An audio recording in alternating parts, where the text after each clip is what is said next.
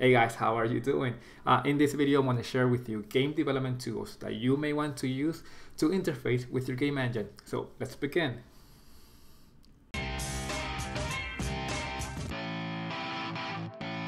My name is Harold Serrano and I develop a 3D game engine completely from scratch. And I'm here to share with you everything I know about game engine development.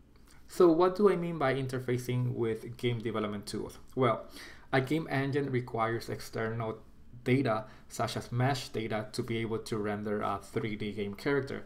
It also needs data to render a sprite or a sprite animation and data to render text. Um, so your game engine uh, requires a way to interact with these tools in order to retrieve the data that it needs to be able to render the content on your screen. Now, one of the main tools that I use is Blender 3D. Um, if you are completely new to uh, Blender, uh, let me give you a brief explanation. Uh, Blender is basically a 3D modeling software tool, um, very popular among game artists uh, and game developers. It is not only used to design uh, game characters, but also to do rigging and animations. Now, um, as game engine developers, what we are interested from Blender is the mesh data of the character. And by mesh data, I mean the vertices, the normal vectors, the UV coordinates, etc. So how can you retrieve the mesh data from Blender? Well, Blender provides an option that you can use to export the data uh, in a Collada format. However, when I tried to parse the data, I found the process too convoluted and too cumbersome. So what I did was to write my own script using the Blender API and Python. The script basically uh, retrieve the vertices, the normal vectors, the animation data from Blender into a file in XML format. Now, if you are interested in writing your own script, um, I wrote a tutorial on my blog where I show you step by step on how to do that. I'm going to leave a link to my article in the description below. Now, aside from 3D game characters, you also want to uh, support sprites and animation. And the tool that I use to create uh, sprites is called Texture Packer. It is not free, but it is worth it. Now, this tool uh, will generate two set of data. Uh, it will create an image file containing the sprite atlas and an XML file containing the uh, coordinates and um, dimensions of your sprites. You will have to provide these two set of data to your game engine.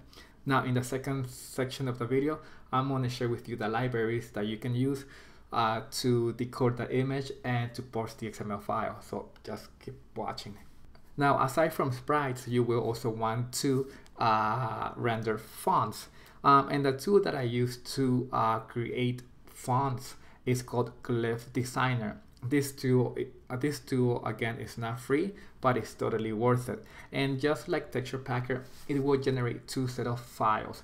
One, an image file containing the font atlas, and the other, an XML file containing the name, uh, the coordinates, and the dimension of each letter of your font.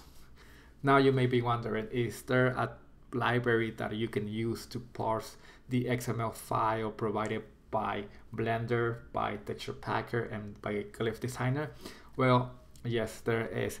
And the library that I use is called TinyXML.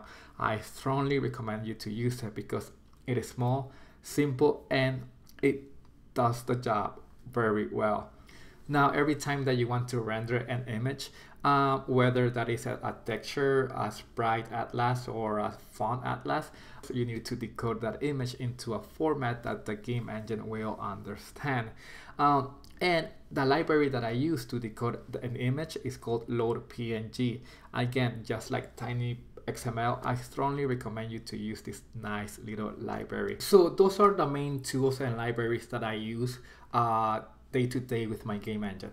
However, um, there are other tools that I don't necessarily interface with my game engine, but I have found them very useful to use and I want to share them with you. One of those tools is called a Crazy Bump, and this tool will generate a normal map, a occlusion map, uh, etc. Um, all of these maps will be provided into an image file that you can later uh, decode using uh, LodePNG.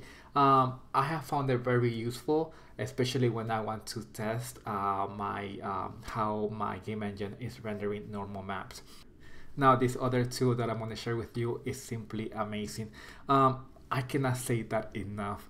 This tool called TinyPNG will uh, compress your image texture and reduce their file size, um, which is ideal when it comes to game engines because you do not want an image that consumes too much memory space. To use it is very simple. You simply drag your image onto the placeholder and after a few seconds you will receive a compressed version of your image. And the cool part is this, you will not notice the difference in quality between the two images. It is amazing and I strongly recommend you to use this tool. And that's all what I have for you guys today. I hope this uh, video was useful to you. I hope you now you have an idea of what tools are there available uh, for you that you can use in your game engine and what type of libraries you can actually uh, interact with. Um, thank you guys for watching and I'll see you next time.